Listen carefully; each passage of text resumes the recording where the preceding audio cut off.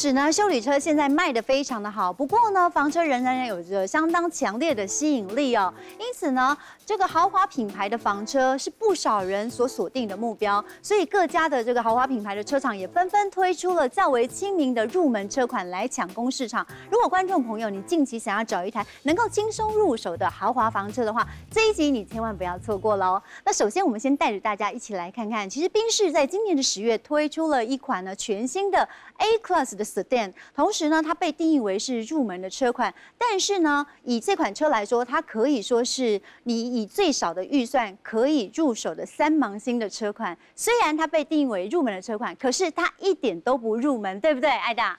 呃，应该这样说哈。以往如果你要买宾士这个品牌四门房车，最小的就是 C 系列了。是。那么现在 A 系列的四门房车 Sedan 推出之后呢，也就是你想要买宾士车最小一款四门房车，就是现在这一台 A Class 啦。没错，有尾箱的。对，而且其实我记得前几年我们在谈这个国产与进口的死亡交叉这一件事情的时候，我们就在讲啊。豪华品牌以往到两百多、三百多你才能够入手，对不对？那它开始现在推出了这种所谓比较亲民的这个售价比较亲民的车款之后，当车格整体会来说缩小一点点啦。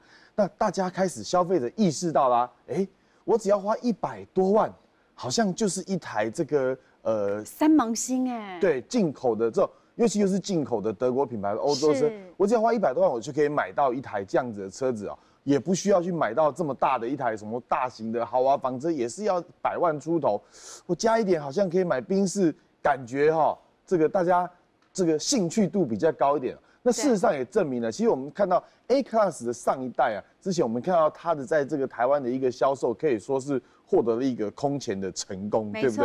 那么后来呢，它其实在全球也都卖得非常好。那么后来呢，现在新世代的这个 A Class，哎，也推出了什么？有屁股的四门房车哦。不过前一阵子我们还在试那个 CLA 的时候，我就说，哎呦，这两台车的调性哦，实在是有够像的。当然，因为呃 CLA 它是属于 four door coupe 这样子一个车型，我说，呃，如果你要买有窗框的，就买 A Class Sedan 对。如果你要买没窗框的，你就买 CLA 好了。那么我们还是来看一下这一台这个现场，目前这一台是 A 两百。的一个车型呢，A 两百标准型的一个售价大概在一百八十万左右。你说，哎呦，亲不亲民？好像也要接近二。但是它入门的车款来说，是一百六十出头哦。A 一八零的话呢，只要一百六十万的一个基础售价。没错。但我们知道宾士的车型，它有非常多的一个这个选配啊。如果以现场这一台 A 两百来说呢，一百八十万你是买不到现在这样子的车子的。嗯。嗯，因为这台车选配的是一个 AMG Line 的套件啊，是不是？对，所以外观上面更加运动化。它的前面的保感呢，就更具有侵略性，而且在车侧的部分，你看到它保感侧边还有一个进气口，对不对？对对。然后呢，你看铝圈也是新世代的 AMG 的一个这个铝圈，尺寸稍微也比较大一点点哦。嗯。所以还有到后面你会发觉它后半截的玻璃啊，跟后挡玻璃啊，这逼住以后是黑色的。表示什么？它有选了夜色套件，嗯，啊，夜色套件包含它的窗框啊，它后视镜啊，它的水箱护罩这里部分也都是黑色的，啊，这个是夜色套件的一个这个呃比较不同的一个设定。然后你看它还有这个大面积的全景天窗哦。假如你要买到现场这样的一台 A 两百的话，已经售价要超过两百万新台币了。加了黑色套件这个 AMG 的话，加了 AMG Line 加夜色套件就已经超过两百万新台币的一个这个售价。所以观众朋友们可能会觉得很纳闷呀，那两百万入门，哎，好像破两百，可以买 C 一八零哦，嗯，对不对？可以买 C 一八零，它整体车格比 A Class 又大了一些些啊。那当然，你现在走进展示中心哦。你去跟他买那个 C 一八零哦，我跟你讲，杀一杀不用两百万就买到了。嗯嗯，不用两百万可是，在外观上面也就不一样啊，因为你 C 一八零是买到最入门的。没有啊，因为一百八十万的 A 两百也是入门款的，也没有 AMG Line 啊。所以其实呃，我们一直在讲说车型哈越来越多的一个状况，对消费者来而言是一个好事。对，相对也会有选择障碍。对车商来说啊，你看看这个 A Class 的 Sedan 的这个车格跟这个售价。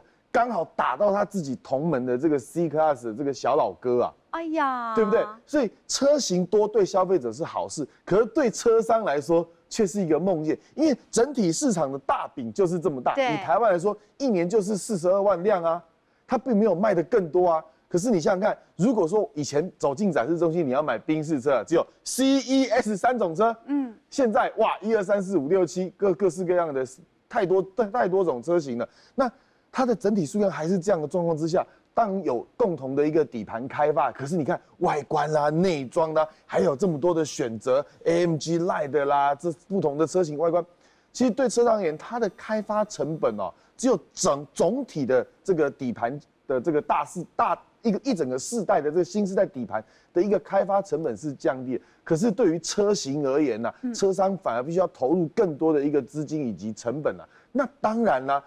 既然它是新世代的车型，它还是有它很强项的一个这个地方。对，尤其是在内装的部分。对，内装的部分，我觉得这个是呃非常的年轻化哦。那它有什么 MBUX 啊？有这个两个大荧幕啦，有 Hey Mercedes 啊，然后甚至你可以连接它的 APP 啊，可以去观察车观察车辆的一个状况。我觉得这都是现在新世代年轻人非常喜欢的，包含我，因为我也是年轻人嘛。其实我真凭良心说啦，我看到这样的一个 A Sedan 这样一个车型啊。我认为它比这个 CLA 好看，嗯，而且 CLA 价格还比较比较贵一点，因为 CLA 的定位的这个车格定位在原厂自己定位上面是比 A 十店要稍微再高一点点。的一个这个级距。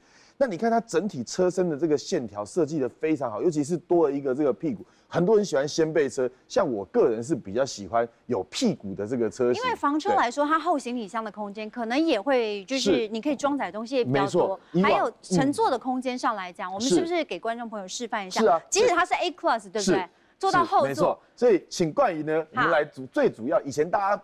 诟病的这个 A Class 是后座的空间特别小。哎，那我想问一下，嗯，呃，新一代的 A Class 它是不是车格有放大一点啊？有大一点点，有大一点点。对，除了它的行李箱比起以往的 A Class 大非常多之外，冠仪你现在可以请到后座坐。刚刚我在驾驶座调了我的位置，你会发觉其实。它并没有你想象中那么小，对不对？No，不是，其实怪你很高了。可是你会发觉它后座的乘坐空间表现其实是相当不错的，对不对？是是哎，好，没错，有点超乎想象。对，超乎你的想象。对，包含它的腿部空间，甚至我们要知道，这个车子是一个。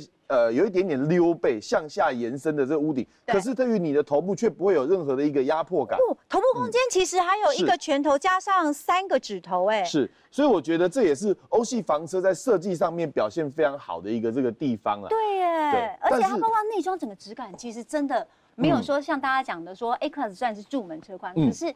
它就会比较阳春，没有哎，是没错。当因为 AMG Line 的车型，你看它的座椅上面，它用了大量的这个呃皮革啊，红色的车缝线，包含你乘坐的那一块位置嘛，没错，两侧是皮革，中央是这个呃类麂皮这种 Alcantara 这个材质，所以它。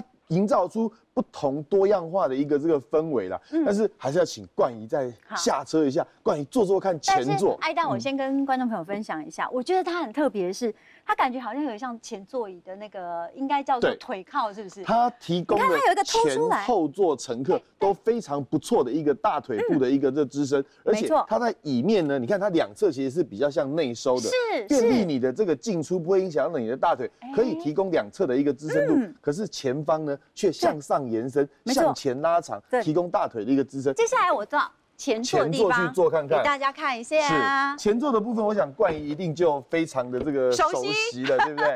没错，嗯，好。可是呢，我必须要讲啊，现在新世代宾士这个底盘呢，它的这个前驱车型的一个这个设计哦，嗯，你就会发觉哦，我觉得有一点我很不习惯啊，就是。如果以它同级的这个竞争，我们先不管它是四门房车或是五门的掀背车哈，呃，这个我记得我前一阵子试了这个新的 B W 的 E 系列，它的油门踏板虽然它已经改踩前驱了，可是它的油门踏板还是传统这种立柱式向下踩的油门踏板。可是你看现在新时代宾士的这个油门踏板，对，它变得跟日本车一样，没错，它是上旋的，是，它是上旋。如果你长久的时间开起来，你会觉得比较。呃，踩踏的那个感受，但是这个是个人习惯上的一个这个问题啦，会比较有一些不一样的这个氛围。你觉得你到底是在开欧洲车还是在开日本车？不过呢，整体的操作界面。它非常非常的宾士，而且它也有两个连起来的画面哦，就是真的是新时代的设计。没错没错。好，那这个方向盘下面是那个平把平把跑车是因为这台车选了 AMG Line，所以它就有这个外观以及内装都是 AMG Line 的一个这氛围，包含你看。像我自己那个车型也是 MG line 的车型啊，可是我的方向盘还没有车红线呢，我的这个皮革椅也没有车红线，所以这些东西要加钱啦。